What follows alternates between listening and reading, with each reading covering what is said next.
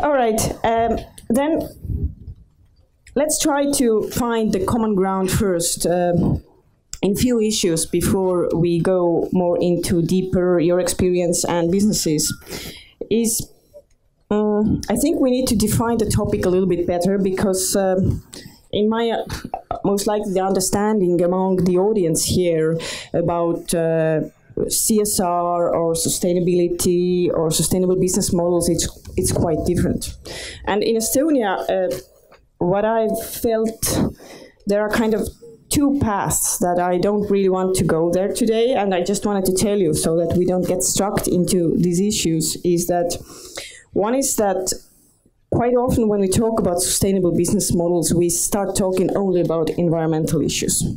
So uh, I mean, yes, uh, we do know that uh, the, the, climate has uh, warmed one Celsius since the Industrial Revolution, and now the Paris Agreement is trying to make sure it doesn't go to two. So we agree there. So my question, and actually a request to all of us, is that let's not only be stuck in environmental issues. That's one thing. And another thing that is like, for me, it's like very Estonian related thinking is that. Um, a lot of businessmen in Estonia and people tend to think that when we talk about uh, corporate um, responsibility, then that means donating money. That corporate responsibility means donating money or giving money to the charity, and that's it. I mean, during the past year, I've had several situations then when I realized that that's what they get. But CSR is so much more. So let's try to make it wider. Okay, so now I give word to Kati, and can you please tell us more? What you do at Finnair and why do you do and how Finnair has changed over the years so that now they actually need a person like you? And that's your everyday job there to take care of the sustainable business model. Well, I, I think we had the same evolvement uh, as you were talking about, starting with the environment first but as as fin, Finns are engineers by heart, I guess we started with the uh, with the environmental issues on the technical department, starting already 1987. That was environmental policy organization led by the uh, technicians, led by engineers in the uh, technical department. We were measuring noise. We were making taking steps to reduce noise. We were taking steps to reduce solvents used or the chemicals used or, or things like that. So it was really fact-based things, measuring everything, reporting everything, and, and, and very technical.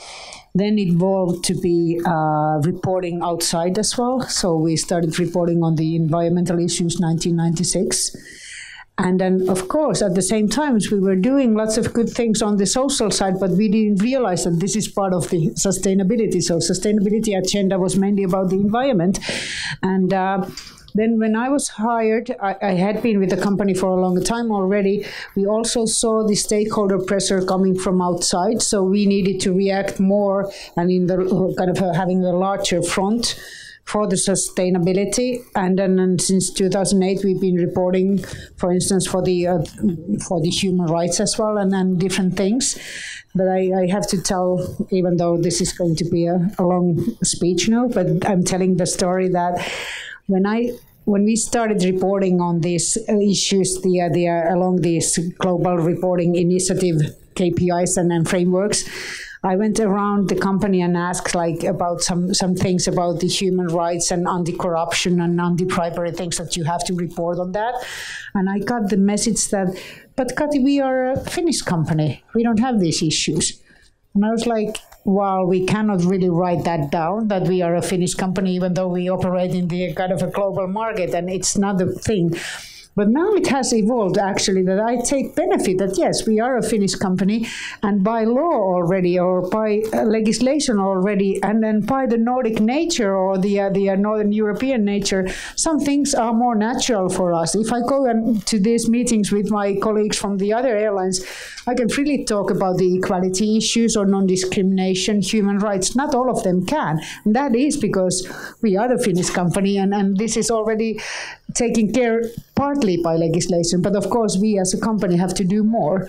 But so so it has evolved, and on also if like you said that at, at, at the beginning the companies were only making money i think it has gone like this probably that at the beginning there is this factory or, or something in the middle of the uh, village and that owner was taking or was it then a big farm taking care of all all the people around the area as well building schools and things like that. Then it became an issue only making money and you don't care about how much you pollute or whatever you do and how the society is doing. It was making money. And now again we are there where we also want to contribute to the societies where we operate. So uh, i think there has been involvement in the companies but also in the societies in that sense can you can you say from uh, from the business you have today that investing into sustainability is actually profitable? Unfortunately, no. yeah, I, I, well, I think we all should do that and we must do that and eventually it will be also profitable. For us uh, at the aviation it's quite there's uh, for the environmental issues it's quite easy math. One kilogram of fuel is 3.1 kilo uh, 3.15 kilos of co2 fuel being the biggest uh, the, uh, the, uh, the biggest cost item for us and, and the uh, emissions from that fuel being the big, biggest environmental uh, impact that we have. So, of course, we have the every incentive trying to save on fuel and then save the environment uh, as well. But on the social side, we need to probably make more investments, and then we really have to look for, for our supply chain, maybe pay more for our suppliers, and that's costing us more. So, and so far, the customers are not willing to pay more. But I'm believing that they will, and the company believes that. And I, I think when we invest on these things, we also invest in the future. And that's the only way how we can operate in the future. That's the license to operate, that's the license to grow. Otherwise, we will be out of business. So even though it doesn't pay off today or next quarter or next, next financial year, it will be doing that in the future. And there are already customers who care. Good. Maria, you want to reflect on that because you yeah. I'm a customer who cares. So yeah, I, I uh, I'd rather use an airline uh, which takes the environmental and social responsibility issues seriously than use Ryanair, for example. Uh, so I think it pays off in a way. And I think also there is a huge risk in not taking these issues seriously because it means that you will always be on the edge of sort of getting a media scandal in on your hands or you will uh, maybe there will be some new legislation and you will be very stressed about it because you're always just doing exactly what you're forced to do if i buy a product and i read on this product it says usually says something like we take care of the environment and then when you read the text it says we follow all environmental legislation. And then when I read it, I read, we don't do anything more than we are forced to do by law. And then I think that this company will be very stressed for, with every political decision, be it on the national level, on the regional level, on the EU level, or international level, they be, will be so stressed every time there is new environmental legislation because they are living on the edge all the time. And I think that is expensive also, not to be prepared for what will happen. And if you look in towards the future and you see these uh, United Nations Sustainable Development Goals, for example, they say that 2030 we should reach these uh, sustainable development goals. And it concerns everything. It's not just climate change or save the oceans. Uh, gender equality it's the right to education. It's lots of lots of things that you should take care of. And if you believe at all in politicians they will do some things to at least show that they are trying to reach these goals, which means sharper legislation, uh, sharper demands, uh, sharper demands on public procurement, for example. Uh, and that means that all those companies who are living on this edge all the time, they, they will have problems. I'm quite sure about that. So, do you believe to, into those politicians you just mentioned? Well, yeah, I do. I do believe in politicians. Uh, in a way, I do. I mean, uh, there are, of course, ups and downs in politics, and there are good and bad politicians as there are good and bad business people. But I think if, if you agree on the international level that you should all work towards the sustainable development goals, uh, there will be a pressure, not only from other politicians around the world, but also from people. Because, I mean, we all want this planet to survive. We want people to, to uh, get a possibility to live healthy lives and so on in the whole world, not only here, but in other parts of the world as, as, well. So in the long run, yeah, I believe in, in politicians and I believe in humans. For I mean, we are the only species that are actually have the possibility to see the consequences of what we do here and now and see the consequences that might be on the other side of the earth or uh, like a couple of decades into the future. And if we do not take this responsibility, no other species on this planet will do it for us. And there are no aliens. Uh, I just wanted to reflect on this politician's um, side that uh, two years ago I was at Almedalen and I was listening to you. Uh, I can't remember what was the discussion. I didn't know you back then so well. But from time to time when I listen to these discussions, I tend to take notes. And I save them to my uh, phone. I have them on iCloud. And when I was preparing this debate for today, oh, no. I just remembered that, oh, I must have something somewhere about Maria and uh, and I, I, just opened it, and um, so two years two years ago on uh, June second, you said we cannot afford to have politicians who are afraid of the change. Yeah, we can't. Do you afford, approve this message? Yes, I do. I do, and I, and we can't afford to have business people who don't approve of change either. So, but the, I mean, you get the politicians you deserve because you choose them. So, I guess uh, that's that's. Uh, you, you, you need to, to, of course, also get people engaged in these issues. That's the question. Do Swedish people, do people in Sweden, do they follow the change? Do they, or are they afraid as well? Because it's so human and so normal to be afraid of the change. I think I think we are all afraid of change, and if but but the problem is if the politicians and the business people are also afraid of change, because then we will not have anyone to put our trust in, and that that's. Uh, when we get more afraid, and that's when nothing happens. But I don't think Estonians are afraid. You've seen so much change in Estonia in the last three decades, so you can scared? you can you cannot be scared of change. I don't believe you if you say you are. So let's ask: Are we scared? Is, the, is there any Estonian here who's scared of change? Hands up. okay, you were right. Nobody's scared. That's good. Okay, but coming back to the profitability, let's uh, talk with Raul a little bit. I know your company has made huge investments into machinery and into R&D to make sure that what you do is will affect uh, environment on mi on minimum and you have taken a lot of risks you have invested so much money, is it coming back? Has it come back, or do you believe that it will?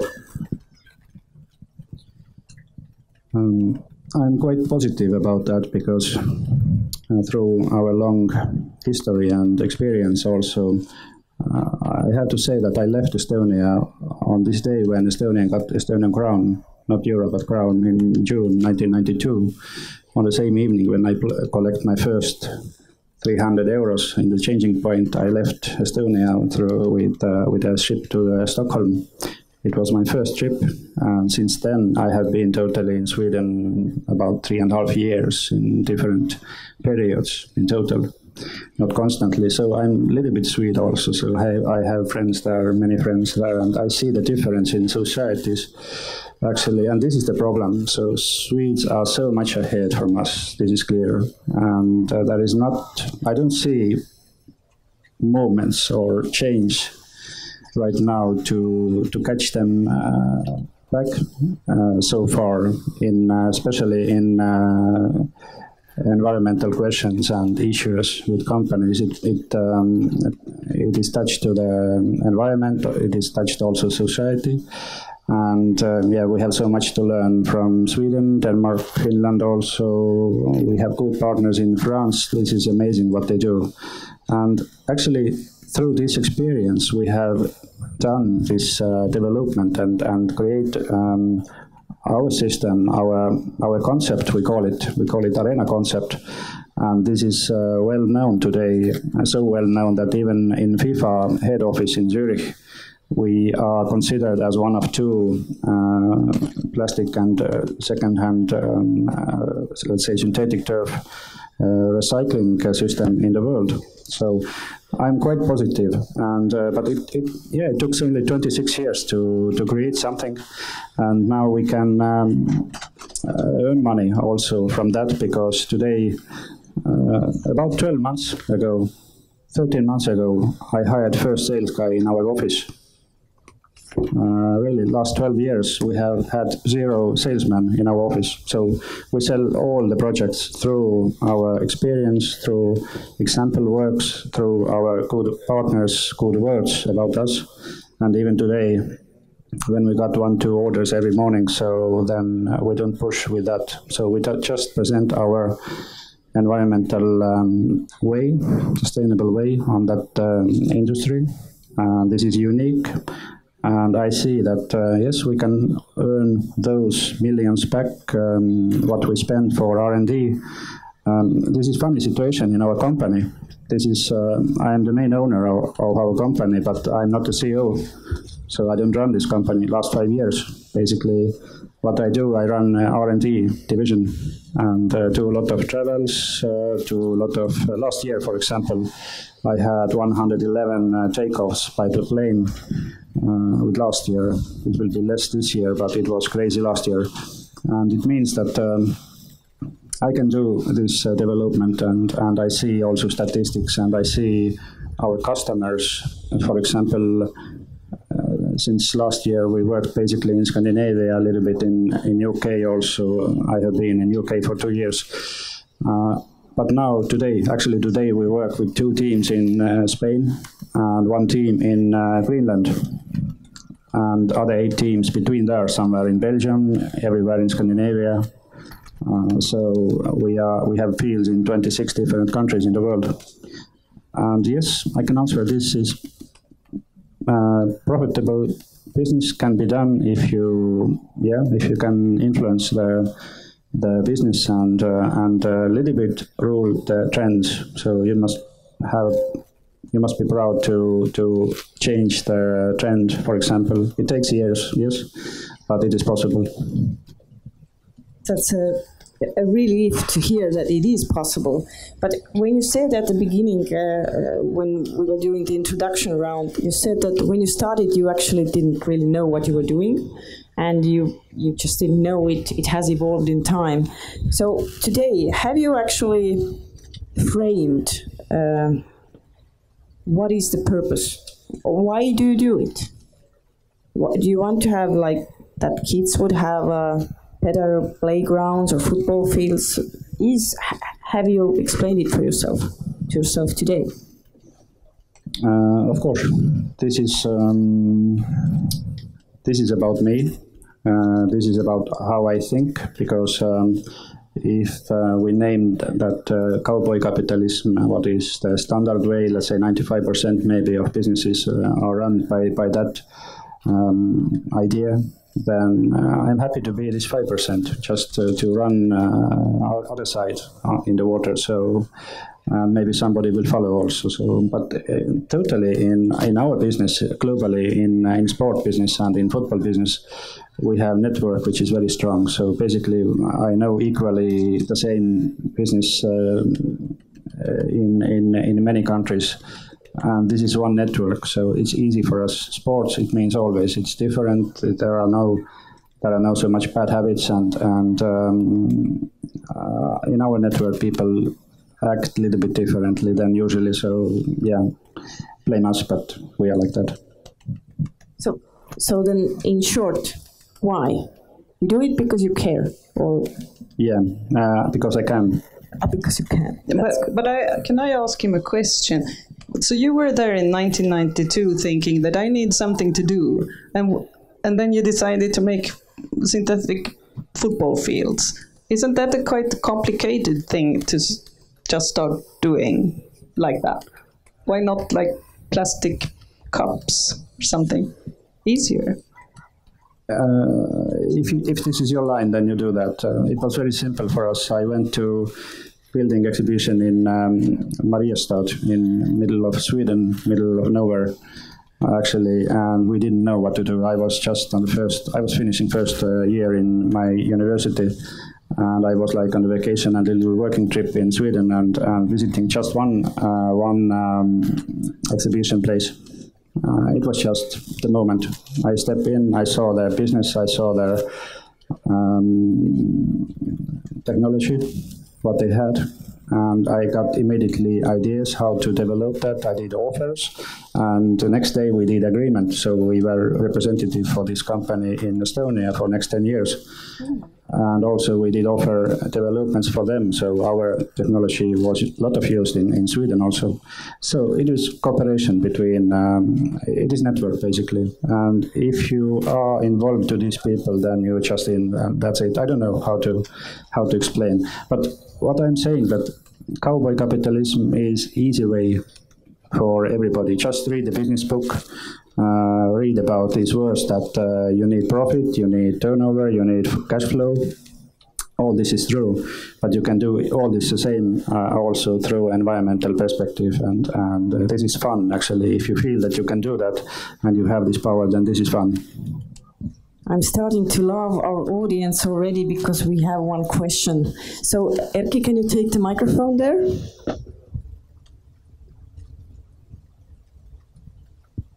Hi, thanks. I'd like to make an argument. I think you're kind of confusing the issue when you're saying that profits are here and value and purpose is here, that they're somehow different things. Because profit seeking, uh, saying, as you said, that the primary purpose of a company is to make a profit, that's a value statement.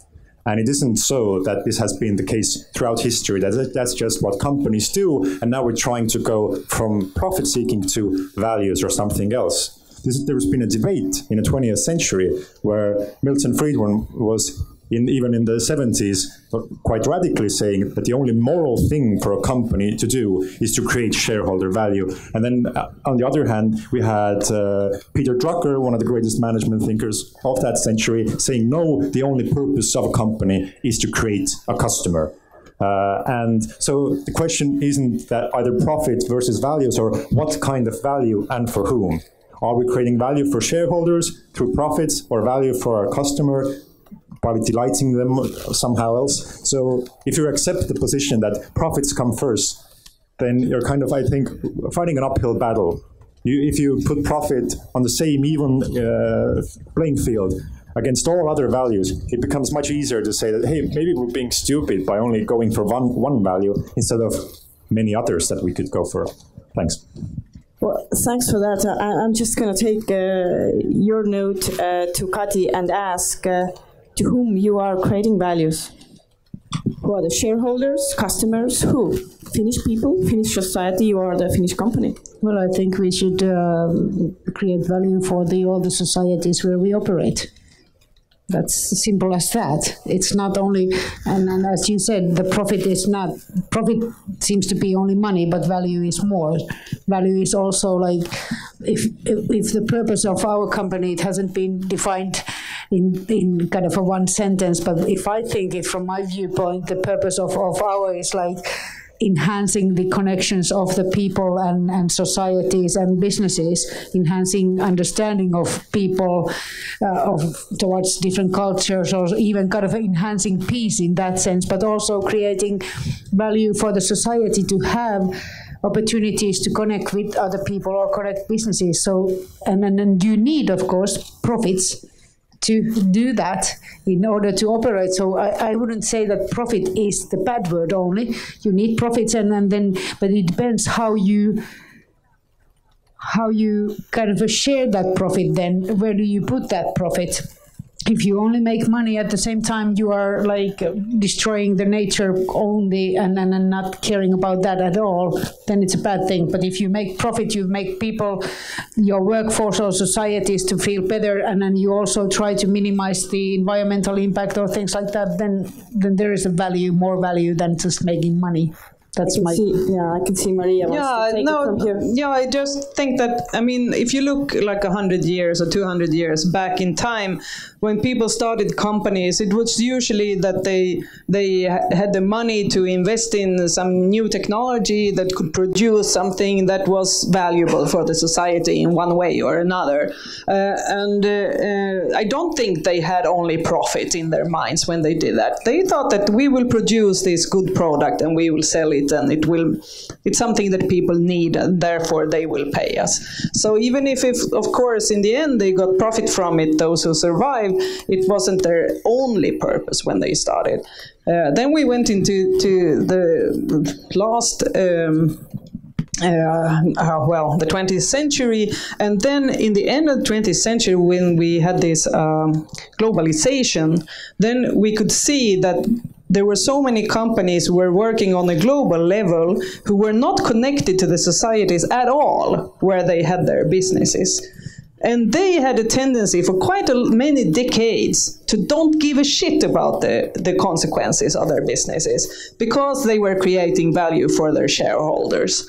Uh, and then they, after having met with some quite strong protests from people, well, both in the countries where they operated and uh, civil society people in Europe and in the US and so on, they started to, to think that maybe this is not the way of doing business in the long run. And then companies like Unilever, who were one of those who were quite criticized a couple of decades ago, started to change their mindset again, trying to connect to the local societies where they operate, the people who produce their raw materials that they use to make the food and so on.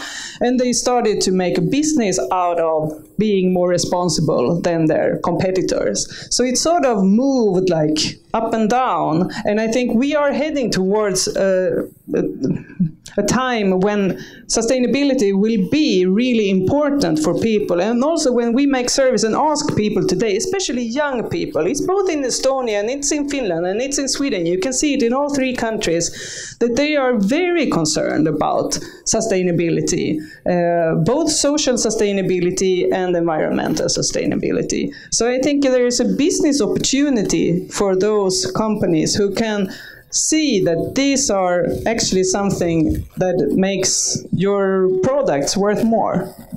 Take me back to Kati.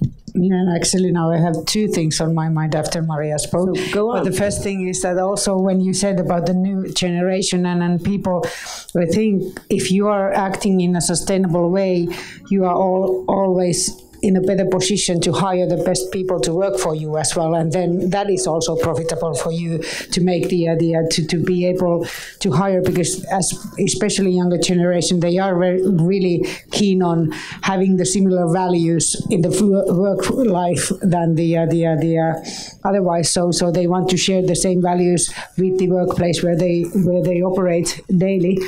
But the other thing that I was saying that there is a big debate now in, in Finland and it was in Sweden about the uh, taxation of emissions from aviation. And then we've been telling that yes, aviation fuel is not being taxed. And the purpose for that actually was already from the after uh, Second World War World War that the aviation fuel and the maritime fuel is not to be taxed because we needed connections and we needed to expand markets and we needed to, to kind of change the world and create opportunities by that. So actually coming back to that, I, I think there is still the same purpose and same idea for these businesses to connecting businesses, connecting people, helping societies. But yes, then there is another question that yes, we must pay for the emissions and, and, and probably probably that has changed since that.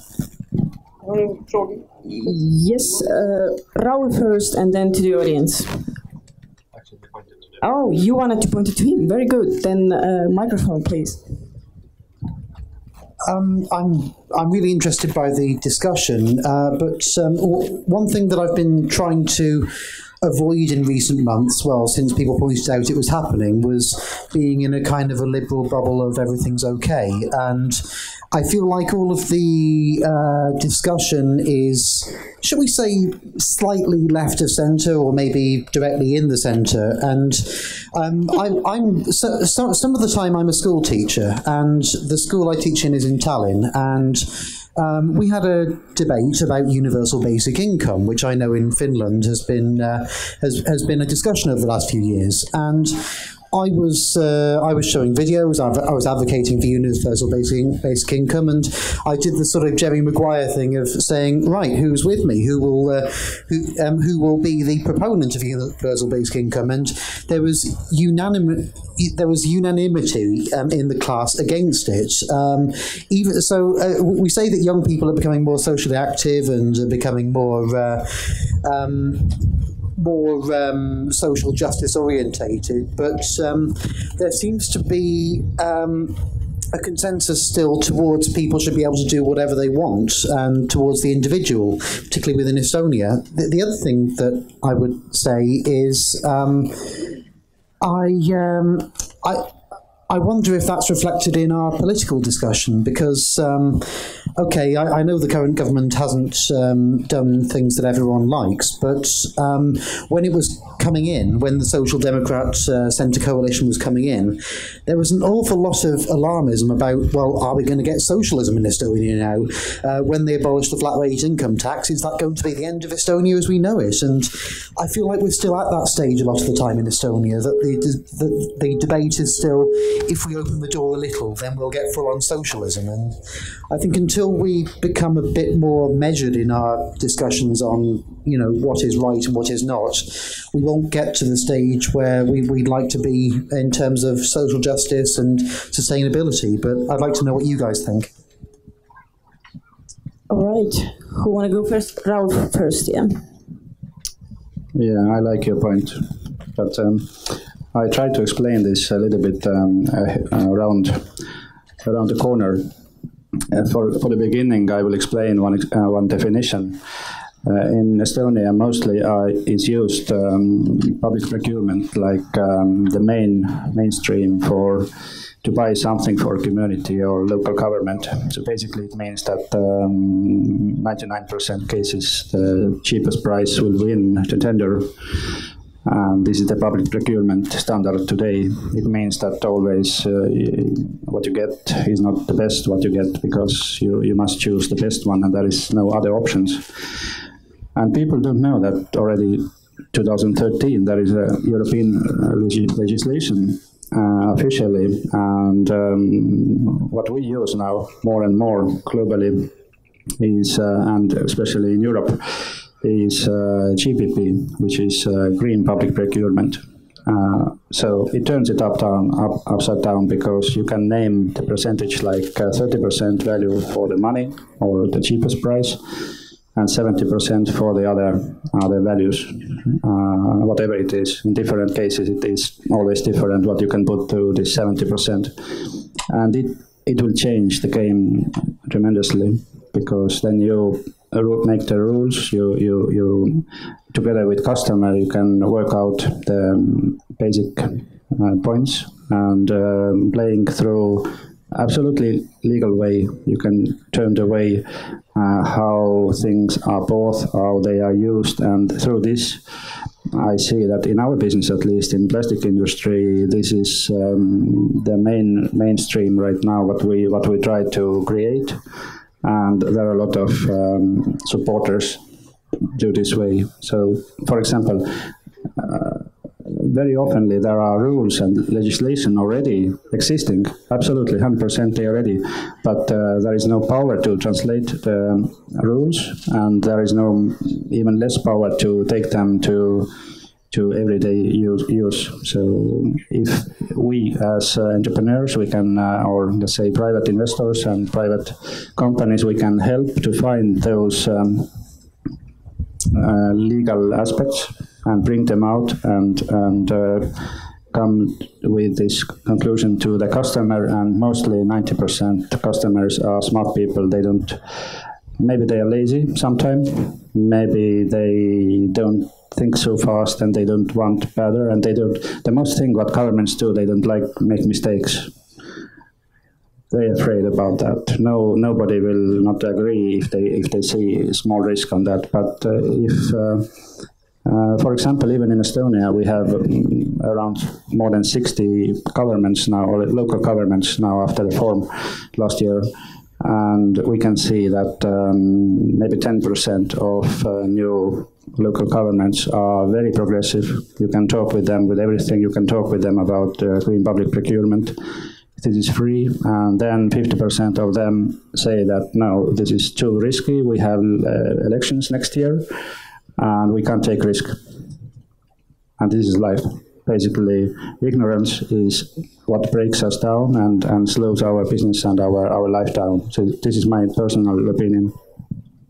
Okay, Maria? Yeah, I mean, I, I could discuss basic income with you probably for a long time, but I think we will avoid that right now and go to the uh, bigger question: Is is everything okay? Uh, of course, it's not okay. I mean, everything. If I gave the impression that I think that everything is okay and only moving in the right direction, it's not actually my true feelings. I wasn't trying to say. All I was trying to say was that. Uh, I feel like we're all endorsing each other's ideas because we all broadly agree on them. That's all. Yes, but I, I think actually we could disagree quite a lot if we really come to the concrete proposals, and that's what happens all the time when you want to sort of um, increase environmental taxes, one thing that Kati mentioned, I didn't. But I've been a politician, a green politician, trying to raise environmental taxes at several points. And if you ask business people in general, they are for environmental taxation. They say that, yeah, it's quite a good way of decreasing emissions, and everyone has to pay for their emissions, and it will be also cheaper for those who are good and do not emit so much, and so on. But then if you come with a proposal and say, now we will raise exactly this environmental tax, there will be only complaints. They will complain about everything. And it's the same with environmental legislation. Every proposal for, for sharpening environmental legislations that we have put forward in Sweden, the business uh, organizations have opposed it. Every single one.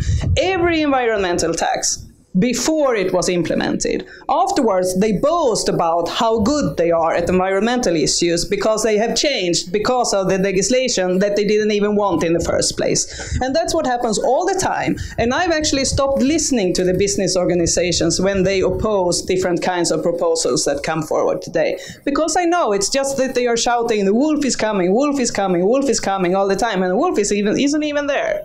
And well, that's that's how it is. That they say that they like uh, to, to sustainability, that they are very responsible, and so on. But as soon as it's sort of proposal on the table, they will oppose it. But then you implement it, and they will not take it away afterwards. They will just change and become a little bit better all the time. But I will also want to say that it's easy to say that Sweden is better than Estonia. Business people in Sweden are much more interested in sustainability. Yeah, it might be the case, but it's also the case that Sweden's environmental footprint is much larger than Estonia's environmental footprint because we have more money and since a longer time back and we consume so much. So we produce a lot of environmental footprint in other places in the world because of the things that we buy. So even if also our young people when they say that they want to buy sustainable products and so on and they really appreciate if they can work for a company who takes sustainability issues seriously and so on, they still want a new uh, iPhone at, at least every year. So it's i mean it's there are good things there are bad things in the development today and of course we want to push it a little bit more to the to the good side in estonia and in sweden also so do you buy new iphones to your kids every year i actually had my last iphone for five and a half years until i accidentally flushed it down the toilet and then I had to buy a new one. And now we'll keep that for at least five years. No, my, my kids cannot have a new one every year, no. Kati, is Finnair afraid of those wolves that uh, Maria was talking about? So yeah, when it comes to the taxes, for instance, yeah, we do oppose taxes completely.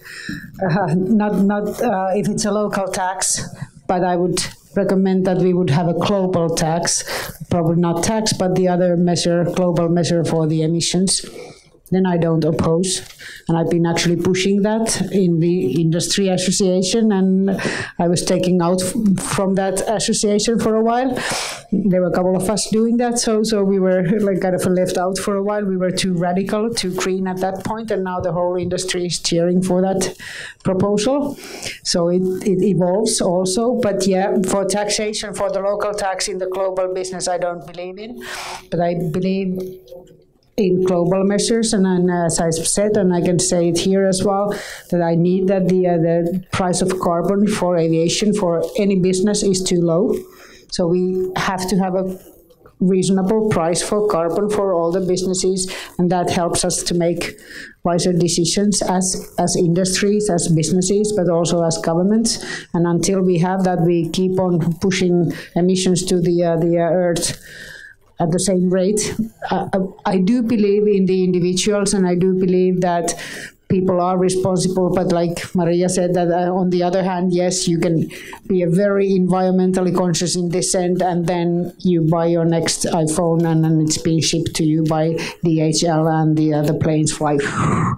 So yeah, we make. So we need governments, we need businesses, we need individuals, we need consumers to work together in order to to get there, and in order to really really make uh, powerful decisions. No industry will do that on their own. We have a question from the audience. Christina? Uh, I have a question to Finnair. Um, if we uh, take a look at the stakeholders, those that actually bring profit to you, those investors, your employees, your clients, which stakeholders of these are the most demanding of CSR? And which are the most sensitive, in your opinion? Probably our own people. We just made the survey. Uh, it's it's usually we have this materiality analysis as part of the reporting cycle where we ask all our different stakeholders what really matters and uh, yes, our corporate customers do say that this matter, and, and what do you do for environment? And when they ask uh, the tender from us for their flying, they have the environmental and social sustainability questions there in place. But it only counts like this. The price always comes first. That's why I was a bit cynical at the beginning. But I'm happy that they still ask. They do ask, and if we are not able to answer them, they would go somewhere else because they are. That's their compliance program. But anyway, they do ask, but it's a minimal thing. Uh, investors, yes, they do ask more and more, and that's becoming more and more important driving force for all the companies, I think, when investors ask. But the most important thing for us so far has been the opinion of our own people, because if they are not happy with the company, especially when it comes to the social sustainability, if they are not happy with the company, it shows, and it shows for our customers as well. So then that cycle is inevitably bad for the company. So, so I think, and then I was so happy when we did the survey this spring.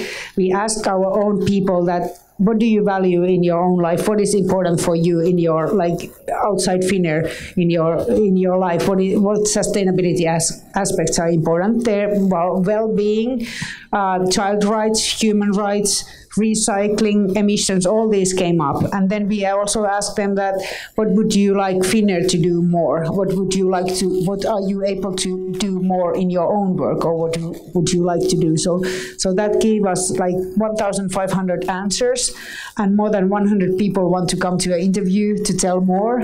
And I think that's where the value comes also. And that's how it shows for the customers as well. I can have fancy reports or as a company, we can have fancy reports, we can have flashy web pages, we can tell whatever about sustainability efforts, but if it doesn't show in in our customer service uh, items or whenever the, uh, the, uh, the, our people meet the customers, it doesn't matter. It doesn't come true. So, so that's why I would say that they are the most valuable asset about the, uh, and they also represent society as well. Thank you. Any more questions at this point? Yes, over there. Uh, today we were speaking quite a lot about uh, uh, environmental sustainability, but I have a question concerning social uh, sustainability. I have a question to Finnair lady. Uh, of course, every entrepreneur earns profit. What are your charity projects and whom do you help in society? Because Finnair is doing quite well and you are a wonderful company, so compliments from me because I've been working in travel trade for many, many years and very good partner. What about charity? Thank you. First of all, I'm happy to work for Finnair as well. Uh, we don't do charity, we do cooperation. So it always involves our own people, our customers, and the company, and of course, then the, the purpose of that organization. For instance, we work with UNICEF, and uh, we have the Schools for Asia project, and uh, our our passengers are able to donate Finnair Plus points, and then they are also able to donate money whenever they book the flight. And with that money, we help the schooling projects in Asia, which is an important market for us. So it profits us as all, also to help those societies to develop. Maybe these people at some way someday will work for us, or they will travel, or or so. So it's it's not that we are such a good company. It also profits us, and it helps us also to to kind of get into those societies. The other good thing or example for me is that uh, we work with the uh, Pink Ribbon, which is the breast cancer uh, initiative, and. Um, most of, I was asked once that what Finnair has to do with the uh, the uh, Pink Ribbon or, or Breast Cancer Society. Why would you work with them? Most of the people working for the company are women, working odd hours, working, uh, eating whenever possible, sleeping whenever possible because they are flying around the world. So it's very important for them to learn about how to uh, take care of themselves, how to eat well, how to sleep well, how to take care of, of, of the healthy life habits. So once a year, when we have this uh, Pink Ribbon Month, those people from the Cancer Society or other instances come to our office and educate our own people and how to search yourself, what to do, and then how to, to kind of live healthy life. Then also uh, we are able to tell the story of, of and, and, and in our like different channels, telling the larger audience about their work. And when the passengers are able to donate the points, we can fly the uh, Cancer Society nurses around the Finland with those points. So actually, there are so many different things, and it's, so it's not charity; it's cooperation, and it, it benefits all of us and hopefully society as well. We have quite many partners, and, and, and they all have a story behind. It's just not like that we give money to this cause or that. Thank you for that. And this is uh, a, a very good example of that the CSR has to actually be useful for you as well. It's not just charity. It, it has to somehow link to your business and, and, and so on. But uh, I, I want to take uh, this discussion uh, to a little bit uh, on another topic. Um, as a final, we have like 20 minutes left. And um, everything you just described costs actually money for the company. So you basically this is where you invest. And uh, and uh, Maria said earlier that uh, well Swedes have so much more uh, money, and and which is true. You have so much more money than we here in Estonia. Well, basically in Estonia we don't have any old money. We started from big zero in the 90s. So and and that has actually created the sentiment, uh, at least what I feel in Estonia, that Estonian business owners or leaders tend to kind of have an opinion that our companies are too poor actually to invest into CSR. So what I want to discuss with you now is that does it actually has to does it actually have to cost or where does it start because um, to me it's actually starts from the mindset. And you can do a lot of things without actually spending a lot of money.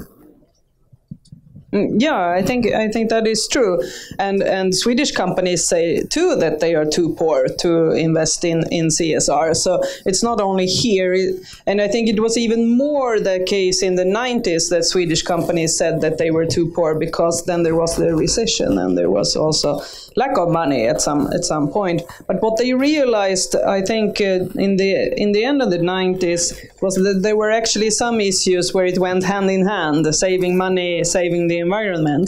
For example, when it comes to energy efficiency, we used to have very, very low prices on electricity in Sweden, and companies didn't care about how much electricity they used.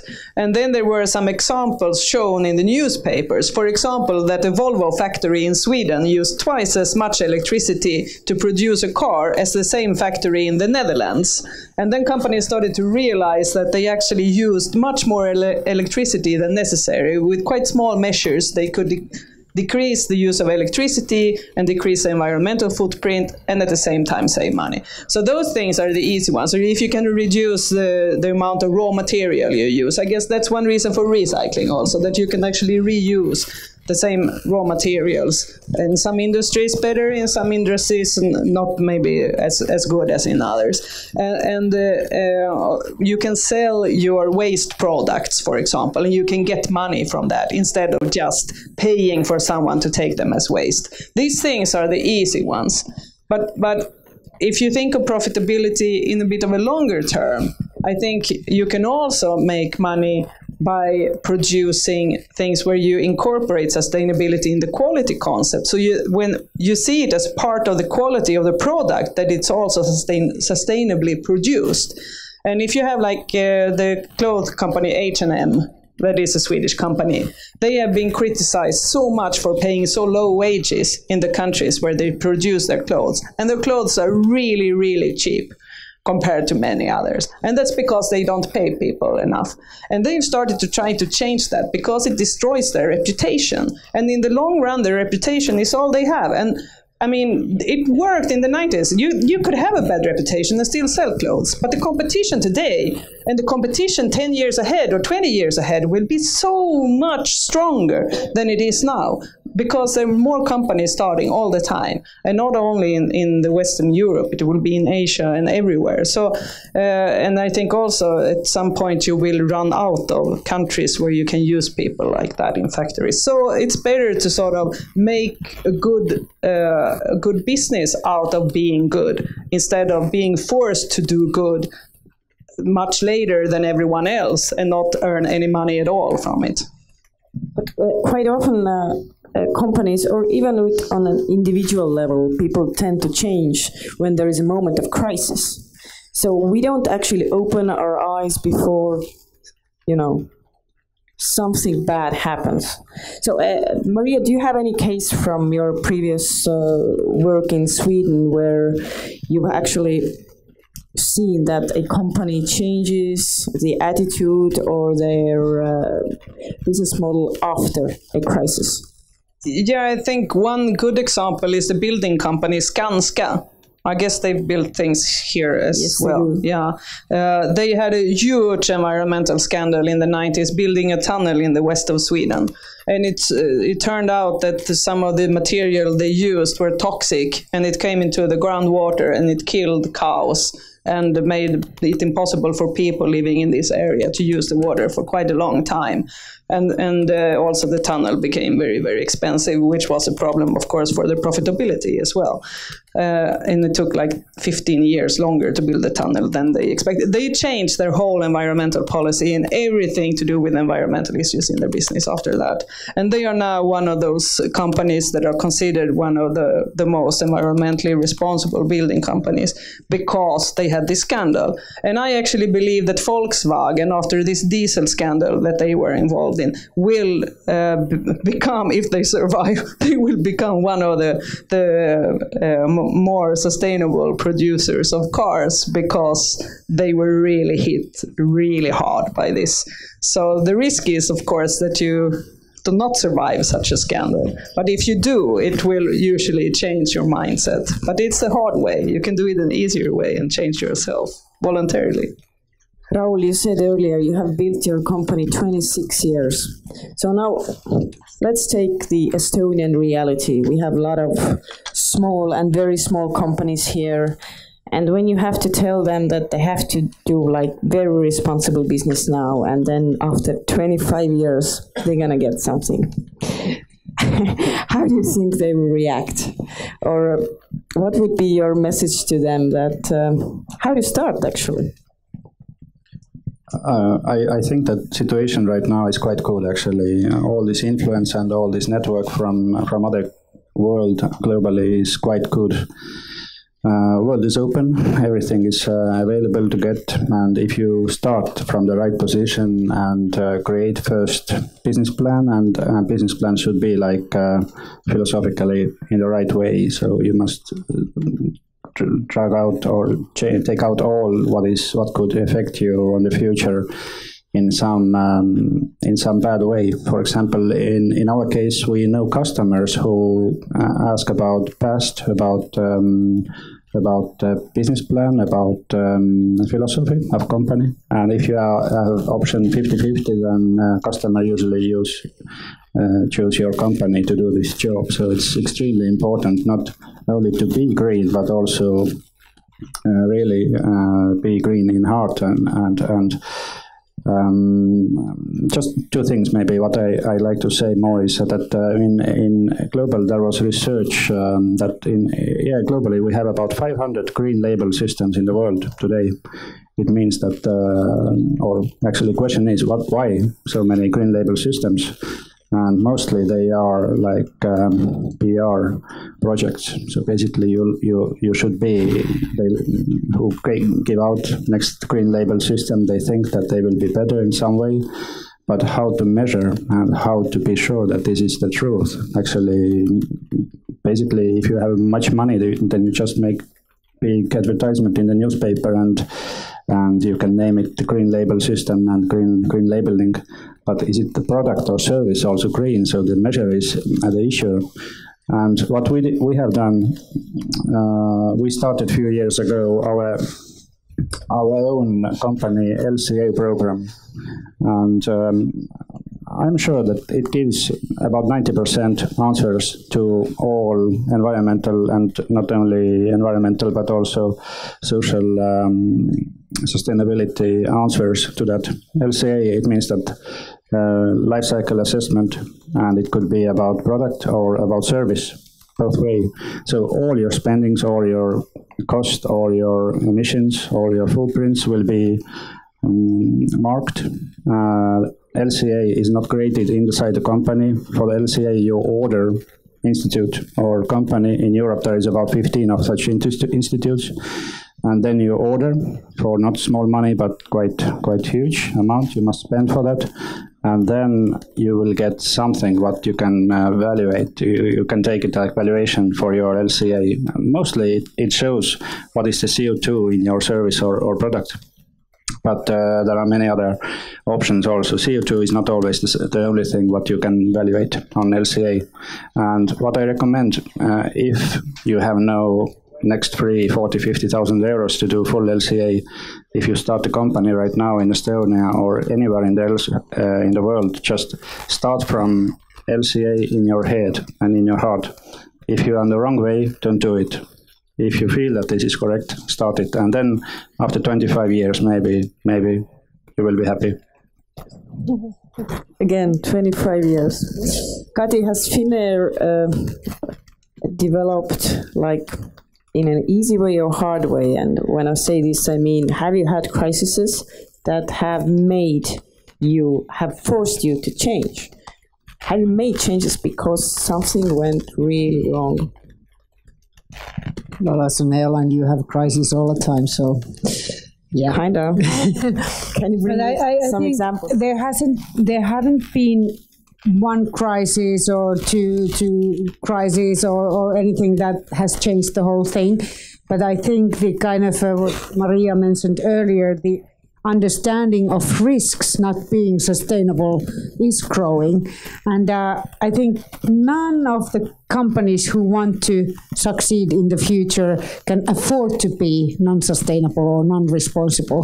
That's the only way. If you want to be a smart business, you have to work in a more corporate, uh, in more responsible way or, or sustainable way. And, and for us, for instance, at one point we had lots and lots of difficulties with our own people, and uh, there were co- constant strikes. Now, when we have invested more in well-being of our own people, non-discrimination, equality, things like that, it pays off really. And then, yeah, well, cop, cop, cop, you never know, but still, that's the thing. And then, and also when it comes, like Maria said about the, I think the environmental manager should be the best friend of the uh, the uh, financial manager or the uh, CFO because if you are saving, you are just doing smart business. It's not like the uh, rocket science. If you are saving on energy, if you are saving on your materials, if you are saving on your transportation, if you are saving any of these, you are saving money, and that's smart business. And um, also, when it comes to the supply chain, the risks can lie in the smallest things. And, and I've been using the example that when we have the tray in front of you, and uh, then we are always talking about the kind of a supply chain in a se- sense that what is the most important thing for us is that the fuel is delivered, the service is delivered. Yes, that's important, and that's in everybody, in top of the everybody's mind. But what about the little toothpick there on your tray that all the customers probably use? Do we know it, where it comes from? If it if it, if it would come out that it's done by the child labor somewhere in Asia, that would be a huge disaster for the whole company. All the customers have been probably using it. All our own people have been serving it to you. That would be a disaster. But that's the smallest item that sometimes you just buy okay as a bulk. You don't. So we have to pay attention to the smallest smallest items as well because those can be the most riskiest. And this is something that I learned also from our the the um, the uh, chair of the board of directors. He comes from the uh, Stora Enso, who had this case, and so he learned it, and it, it helped me and the company. Uh, Finnair also a lot to pay attention to the smallest details as well. So don't the kind of a, the you cannot afford to be non-sustainable. Devil is in details, Maria. Yeah, yeah. I sometimes I say to to uh, management people in in companies uh, that their surveys have shown that uh, those um, leading people in companies who have been forced to leave their posts in the last 10 years. It's much more common that it is due to ethical issues or, or something to do with lack of sustainability that have made them uh, have to leave their posts. So then they become a little bit nervous. That is very good because they see that there are risks if we don't take care of this. And I'm on the board of an architectural firm in Sweden. And, and we had a discussion once on the board level level, should we go into Saudi Arabia to make business. They had asked for for uh, architectural firm to to um, uh, draw a hospital for them, and this is one of the specialities of this architectural firm. Shall we draw a hospital in Saudi Arabia with the risk of corruption, risk of inequality, risk of labor that's been bought from other countries and had their passports taken away from them, not being allowed to go home, maybe a hospital where they will not treat women equally as men, and so on. And we decided that the risks are too big. Even if it was lots of money in this project, the risks are too big because the reputation is so important for these kinds of firms that, that you, you cannot risk that just to, to uh, earn some money. Uh, and I think that's that's in the heads of more and more boards also actually that you, you you don't want to take too much risks when it comes to sustainability. I just uh, remember a situation from Finland recently uh, which is, I, I, guess, this is a value conflict, but it's it's part of every company's CSR. What kind of values represents the leader of, of a company? I remember the new uh, manager of Pori Jazz Festival was basically fired the same day he took his job because he went to the media and said publicly that he thinks that. Uh, uh, homosexualism is a disorder or uh, a, a, kind of a disease. So he, he, was just fired immediately. There was no explanations expected. This is against our values. Please go away.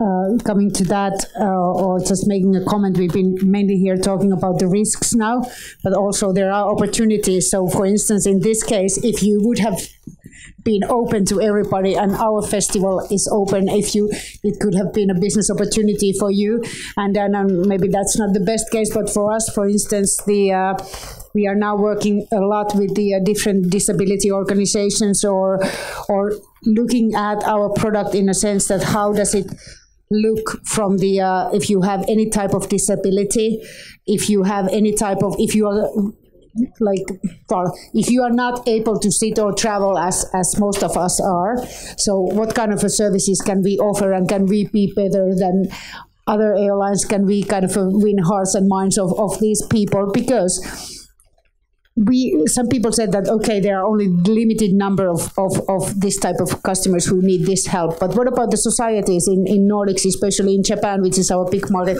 people are getting older they need help in the travel. At the same time, we are going through a huge digitalization, but not all the customers are able to do use those services. What about if we, at the same time, when we design the new digital services, we have this design for all concept. We also design services that they are able to use, or all the people are able to use them, and they are open for disabled people as well, or older people, or so on.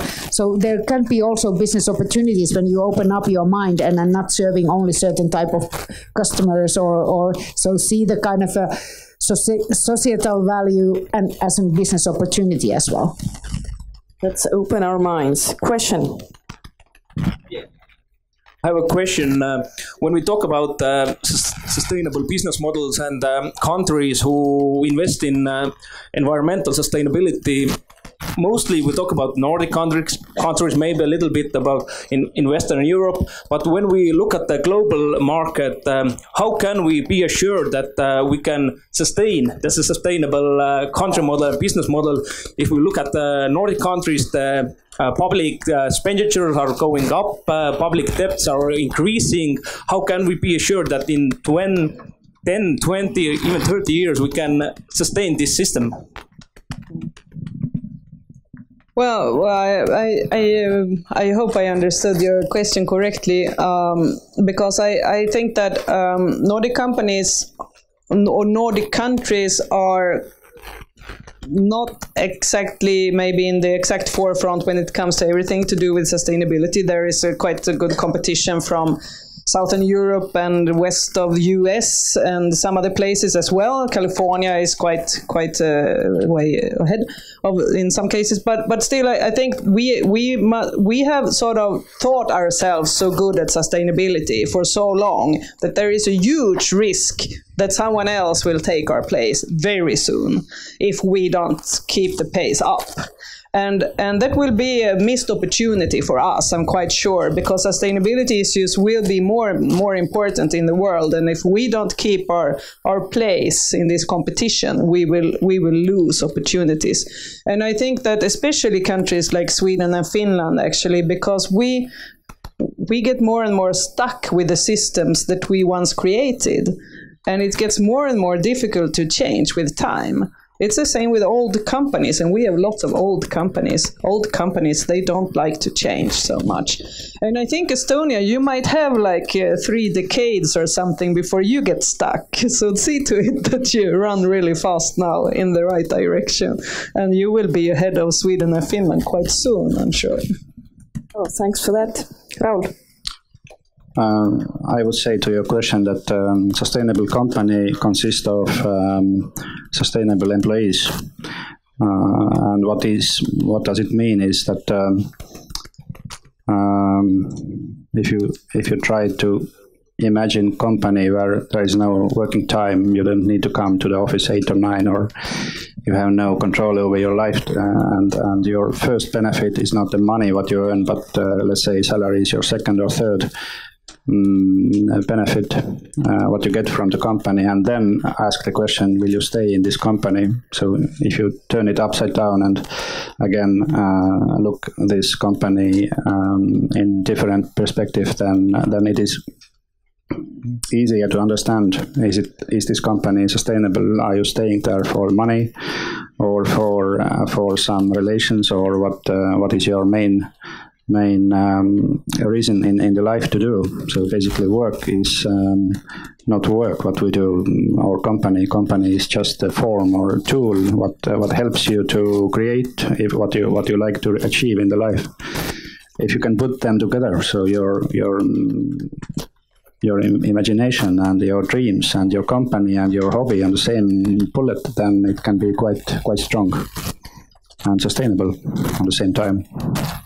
I kind of feel now that I want to come work for you. Can I? okay, yes. You have a comment? Yeah, I have a follow up. Uh, so basically, we put our beliefs in the values that people in the future we will value the sustainability more. But when we look at the recent, uh, recent how to say developments in all over the world, we see that we can't even agree with the climate change and we can't uh, make any agreements and how the future will be any different. But I think uh, on one hand it is true. On the other hand, um, people in the whole world today are much more engaged in environmental than they ever were before.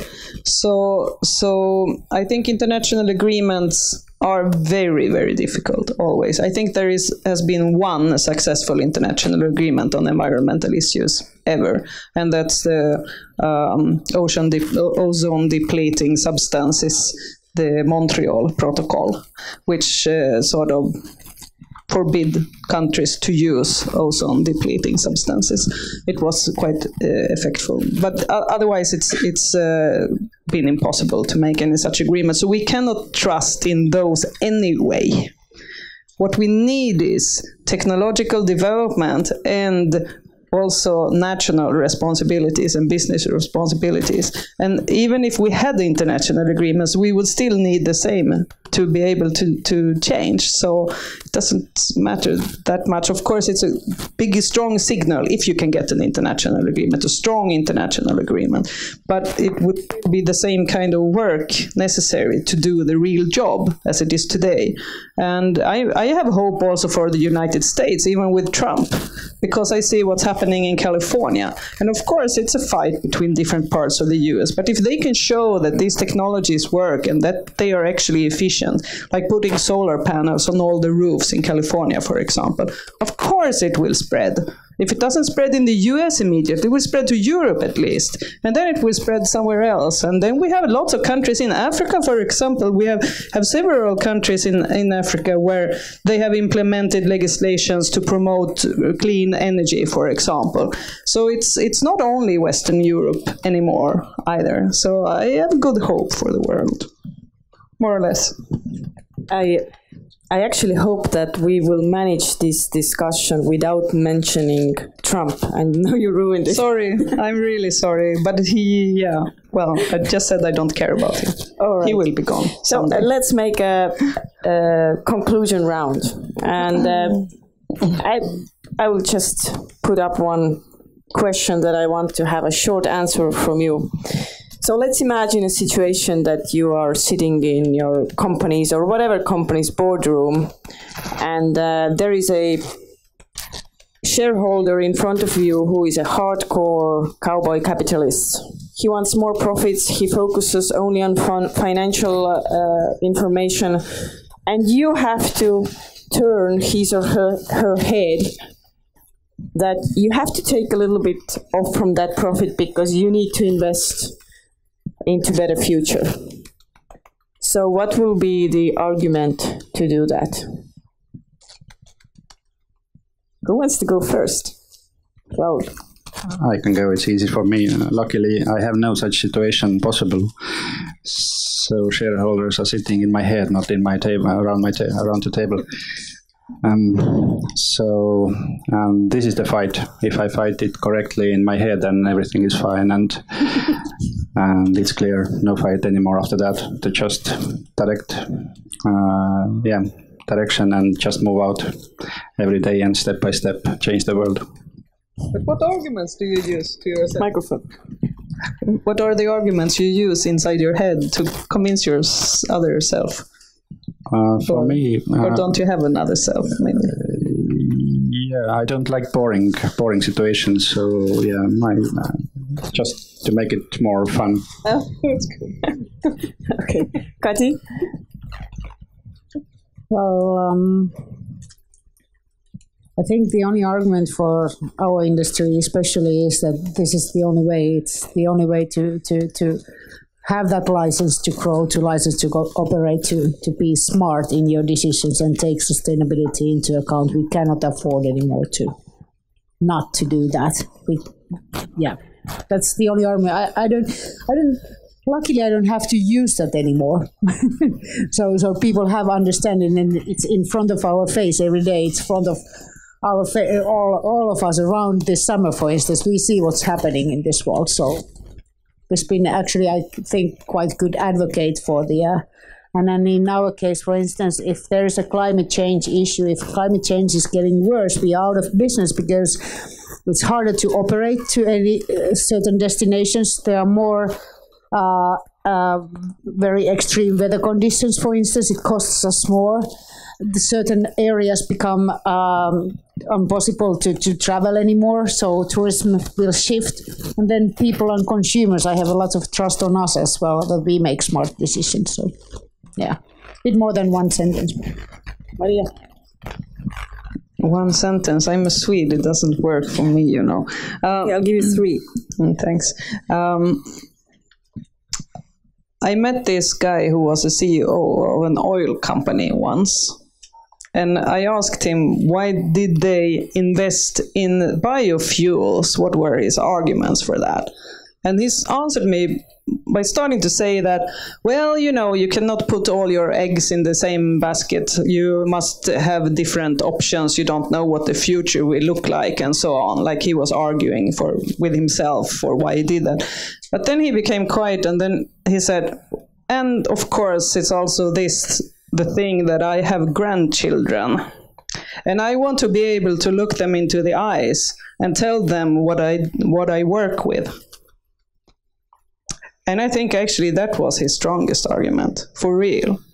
That he wanted to be part of creating a world for his grandchildren. And I think it works on cowboy capitalists. Because I think he was before he had grandchildren, at least. Thank you for that. So let's make a better world. Let's leave a better world for our kids.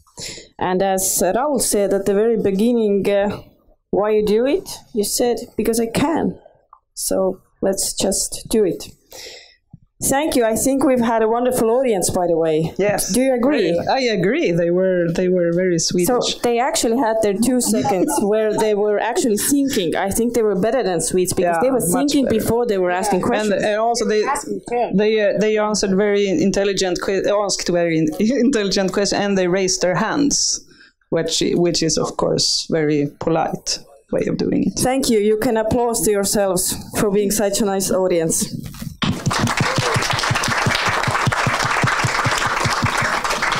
And thank you all for coming. I mean, you all traveled here, so thanks for taking the time.